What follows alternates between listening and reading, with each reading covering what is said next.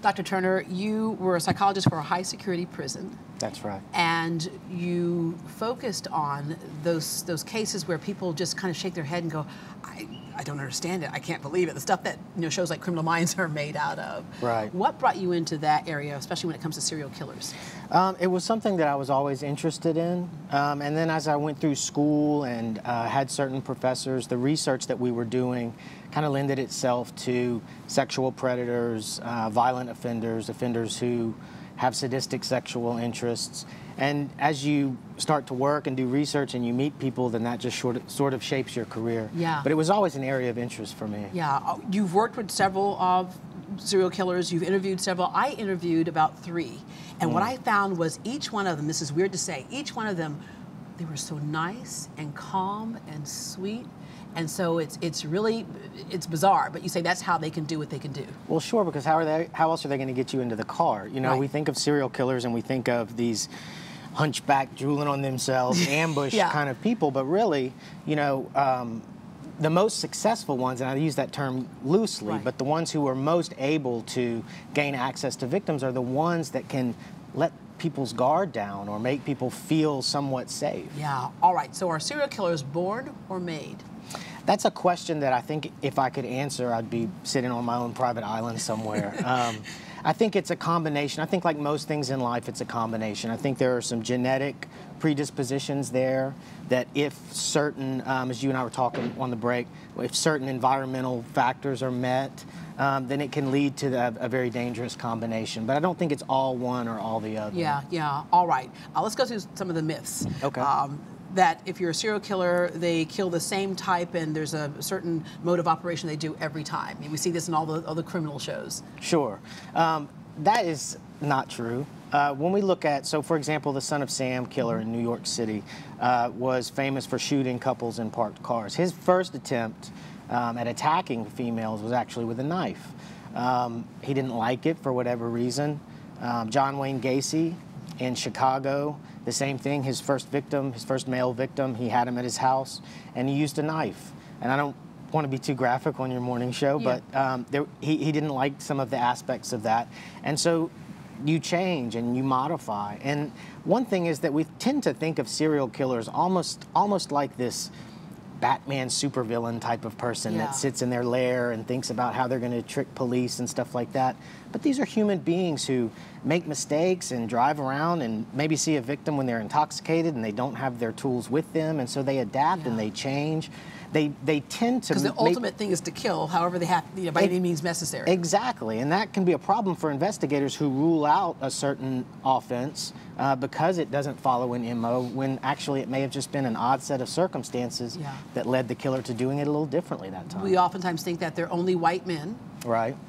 Not the case. Not the case. You know, as America becomes more and more assimilated, um, you know, the, the, there's a famous line in um, Silence of the Lambs where she says, serial killers tend to hunt in their own ethnicity. And I think that that was true for a time, but um, it's dangerous now to make that assumption. There was a serial killer case that I worked peripherally on out of Baton Rouge, Derek Todd Lee, who was an African American male who had predominantly Caucasian victims.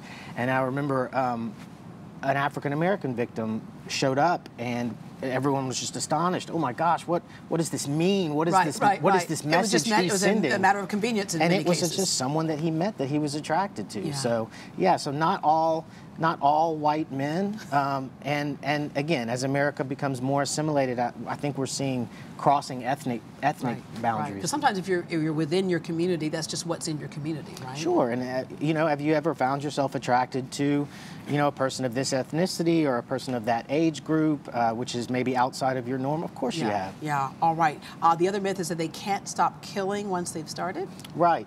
Um, I, I, this is something that for a long time we really believed. Boy, these guys get going and they and they're trucking along and they're ramping up and they're increasing in their intensity and they don't stop unless they die or they go to prison. Yeah.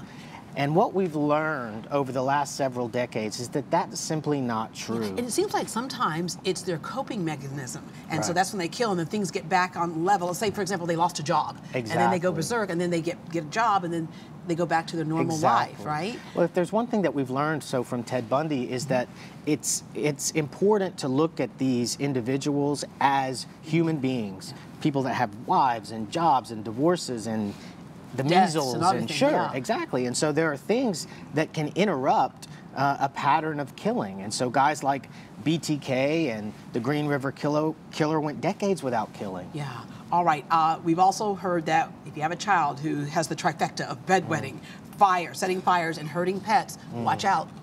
Well, that is a dangerous combination, and I can't say that, that that it's not. It is. If you see that in your child, it's something that you may want to address or get that child into, into therapy or something like that.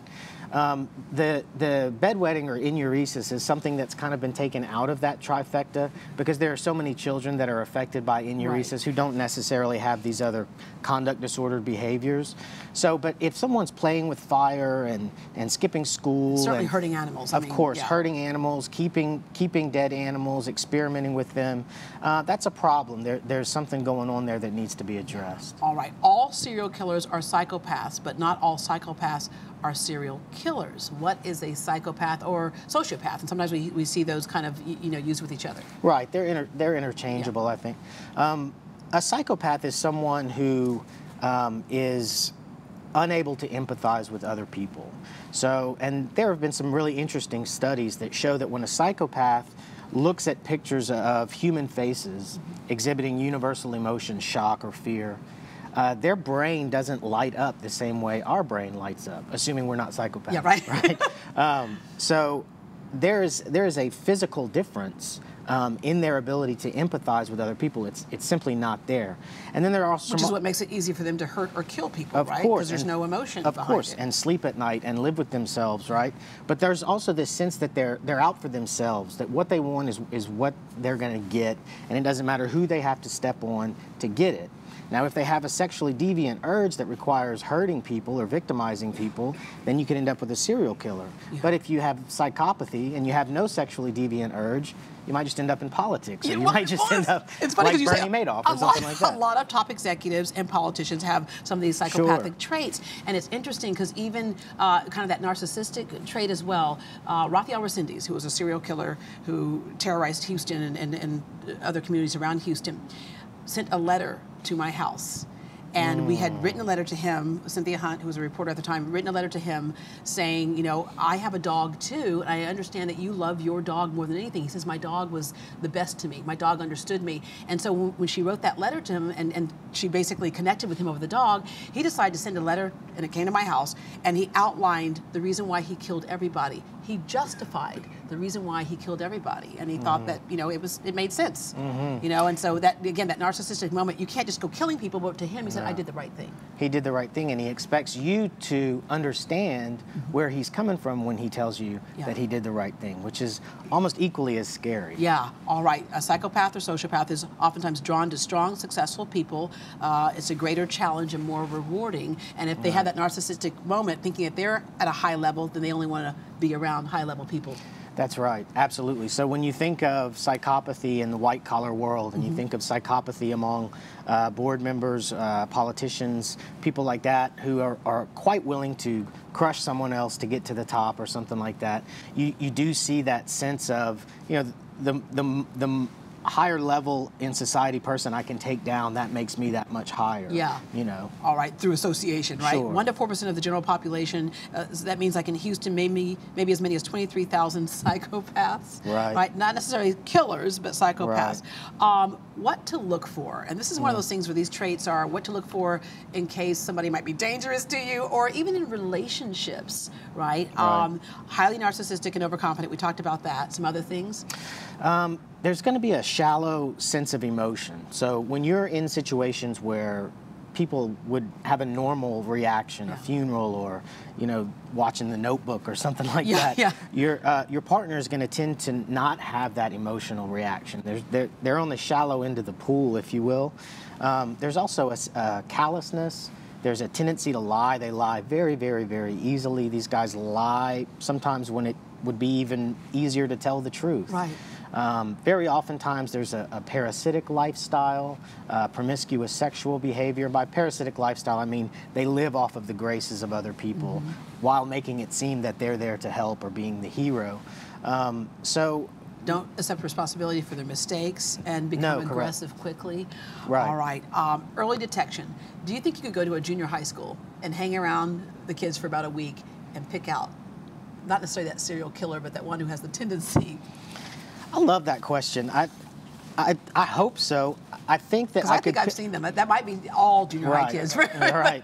I think I, I think I could. I think we could pick out um, children that are more likely to end up with problems than other children. Yeah. Now, whether or not they're going to act out sexually because of some type of sadistic urge, I think we'd have to do a bit more digging. when it comes to the uh, police work side, what's been different since uh, Ted Bundy, and I'm going to talk about that in a second because we're coming up on that anniversary, is that we have DNA today. DNA has been kind of a game changer beyond just being able to, to match the DNA to the person who's done a crime. The Golden State Killer, for example, was caught with DNA, and, and explain to folks how that happened. And does that type of thing run in families? Well, um, we do see sometimes. Uh, so in, you mentioned Ted Bundy. So in Ted in Ted Bundy's case, the man that raised Ted Bundy, or Ted Bundy's grandfather, who was some believed to be his actual father, uh, was was a very angry, sadistic fellow. Um, so so again, I think there's a genetic component to it, um, but with DNA, so that's what earlier when we were talking about how things have changed and our investigative strategies have changed. In some of these cases where there's these cold cases and we have a victim and we have DNA on the scene, and then lo and behold, it pops up that it's a victim of Henry Lee Lucas or someone like that, we are finding out that, well, but she was strangled as opposed to stabbed, or she right. was shot as opposed to. So we're learning that, hey, DNA can't be argued against, and this is a victim of this killer. It was just done in a very different way, so he was never even assumed or looked at at that time Yeah, as and- a suspect. and how to find people is like you know that the whole 23andme and ancestry.com all that type of stuff family tree all of a sudden you go okay well this person is a relative of that person do you know where that person is and so you Right. can actually find connect the dots if you will Right, let me wrap up with with ted bundy because it really did change the way uh, law enforcement and people in the medical community looked at the so-called serial killer Right. Um, so the detective uh, that was the lead detective in that case was Dr. Robert Keppel. He wasn't a doctor at the time, but um, it was the first, one of the most fascinating things about the Ted Bundy case to me that I think a lot of people don't know is that it was the first time that there was a computer program used. Now we're talking 1973, so the computer was probably about the size of this room, right? Um, it was the first time that a computer was used in an investigation of a serial killer. Uh, they didn't even, that wasn't even a term that was used a lot back Right. then. But they were inundated with tips. They had, someone had overheard him use the name Ted when abducting a victim. Um, so they knew that was either an alias or that was his real name. So they had other things they knew, like the Volkswagen Bug and things like that. They, were, they had about four or good five looking things. guy nice guy Right. yeah That they knew he had to meet all of these criteria for to be their person. And so they're inundated with thousands and thousands and thousands of tips. Uh, and so they programmed this computer to kind of shuffle through them and spit out just the ones that meet all of those criteria. And so it's this smaller stack of maybe 100 guys out of all those thousands. And he was two or three down when they caught him uh, in Utah. So um, I, I be- I believe, and a lot of people believe, it was only a matter of time before they would have really focused their investigation on him. yeah all right january 24th the 30th anniversary of his execution That's right. Wow. Thank you so much for joining us. This is the type of guy that goes to a party and is stuck in the corner by the punch bowl because when we find out what you do, we, we're not letting go of you, right? That's right. But unfortunately, TV time, I got to let go of Right. you. I just tell people I'm a counselor. Yeah, right. There you go. We still will be stuck in the corner by the punch bowl. For more information on Dr. Darrel Turner and how you can get in contact with him, visit greatdayhouston.com.